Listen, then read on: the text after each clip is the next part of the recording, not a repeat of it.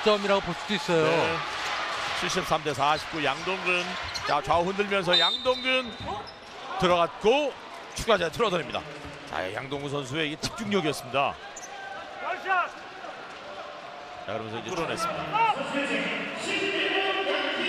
그렇죠 어차피 판정은 심판 몫이니까 그렇죠. 필스리 들리기 아, 전까지 지금 집중해야죠. 그 예. 연속 동작이에요. 네네.